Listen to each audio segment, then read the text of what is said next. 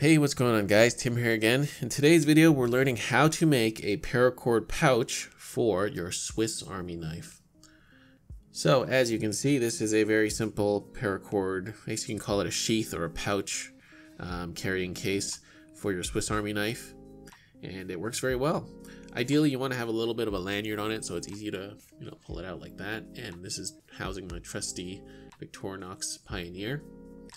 And yeah, you can tailor make this pouch to fit any, um, you know, Swiss Army knife within reason, not those maybe crazy thick ones, but uh, yeah. So that's what we're doing today, guys, and I hope you will enjoy it. So remember, guys, if you're looking for where to get paracord uh, tools and all that good stuff I use in the videos, uh, feel free to check out those affiliate links down below. And uh, that being said, let's get into the tutorial. All right, so we're going to start off with our first piece of paracord. We're going to double it over, find the midpoint, and we're just going to tie the simple diamond knot. So I'm going to make a loop with the right side, lay it over top the cord on the left, and take the end of that cord on the left, bring it underneath the one on the right, and just go over, under, over in terms of those three uh, pieces of cord to form our Carrick's bend. And from there, I'm going to take the cord on the bottom, bring it past the cord on the right coming out and bring it through the middle. And you're going to do the same on the other side. The cords will tend to just want to go in that direction anyway, so you shouldn't have any problem uh, figuring that one out. So now I'm going to tighten my uh, and firm up my knot and just um, get it pretty much formed up. Now, um, there is a lot of excess cord on the end. That's fine because we can use that to adjust uh, the placement of that knot at the very end. So um, you don't have to worry about the excess cord. That's fine. Next, I'm going to take my Swiss Army knife out. I'm just going to um, put my uh, loop here around it just to get an idea of the size of my um, kind of loop on the end and the size of my sheath. So I'm just going to show you there. That's basically going to be the size of your paracord sheath. And I'm just doing this to gauge um, how big I want to make that loop on the end and just um, the general length of that loop. So take your Swiss Army knife and just do that to get an idea of the size you need to make your sheath. Now from here, I've got my two joined pieces of paracord. You can do one color if you want. You could do a single color. It's up to you. I'm to put it behind my kind of core here. It's to look like we're pretty much making a bracelet. And I'm to start with the right cord and put it over the core. Take the left on top and put the right cord through the opening on the other side. And we're just tying cobra knots here, so most of you should be familiar with this. Now I'm going to make that top loop about a half inch or so, um, just big enough to get a diamond knot through, alright? And at this point, you're just going to continue your cobra knots going down the length of your core here. All right, so um, I did mine two color, um, and uh, it's up to you if you want to do your single or whatnot. But remember to always lead with that same strand. It's a lot easier when you have two colors. So you can see I'm using the lighter color over the core every time, and um, it's much easier to keep track that way. So just continue tying those cobra knots going down your core. You don't have to go all the way to the end. You can leave maybe, I'd say a two or three inches from the diamond knot. And uh, you can gauge how much you'll need by just um, putting it around your um, Swiss Army knife. So I tied my section of cobra knot. I'm just going to bend it over and I sort of bend it in half. And now I can gauge how much I'll need to go around my Swiss Army knife. So you can see there, it's just right in the middle, and um, that's just about enough for my specific Swiss Army knife.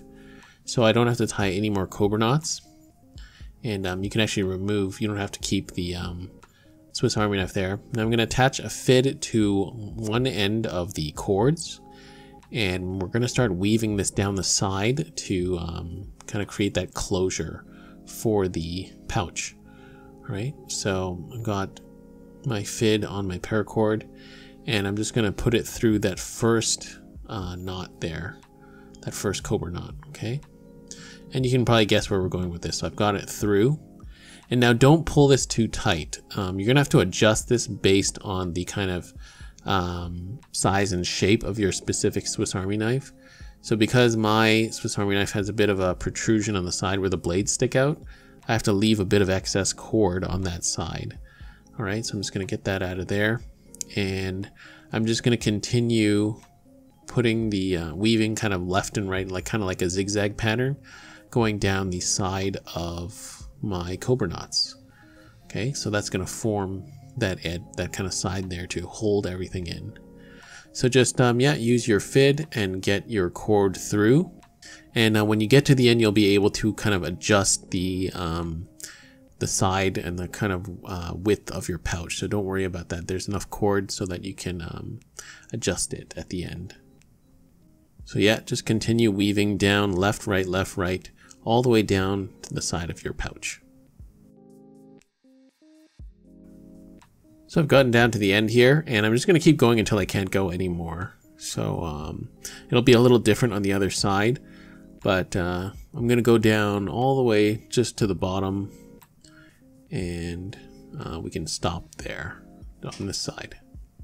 So we've done one side, I didn't clip off the excess yet, but now we're just gonna go to the other side and do the exact same thing. Okay, I've got my FID on my cord again, and I'm just gonna start feeding it through those cobra knots. And um, yeah, just do the exact same process. Get the cord through the knots and weave it down left and right to uh, form the other side of the pouch.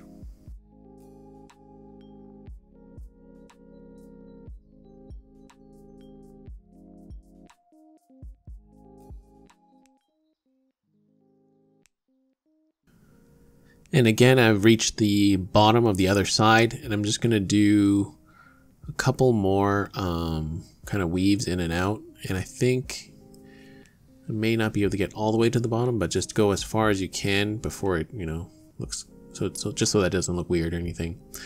So I'm going to do that. And I'm going to go one last time through the very bottom there.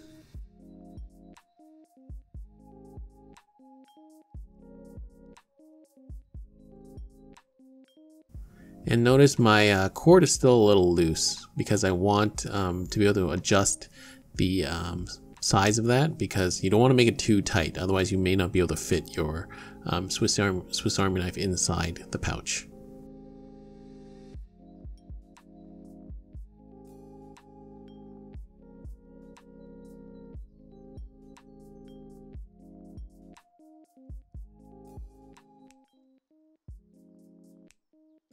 So I made sure my Swiss Army knife fits snugly in that um, pouch there, and so that you know I can easily get it in and out.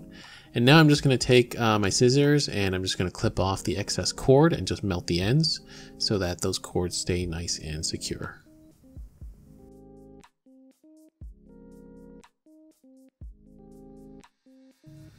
All right, and there we have it. We are finished. So I did end up um, just adjusting my uh, diamond knot placement a little bit, and I also just tied a couple of snake knots on the end there. You don't have to do that. You can just, you know, leave it where it is. And my Swiss Army knife fits uh, very nicely inside this pouch. So as you can see, it does stick out a little bit on the other side. That's just due to the, you know, type of Swiss Army knife I have. But um, yeah, it works out great. And um, it's going to protect my Swiss Army knife if it's in my pocket. It won't scratch my phone or scratch itself against anything else. And yeah, I hope you guys like this one. So as always, a huge thank you to my Patreon supporters. Uh, if you guys want access to the exclusive monthly tutorials, feel free to check out my Patreon page. Got a lot going on there.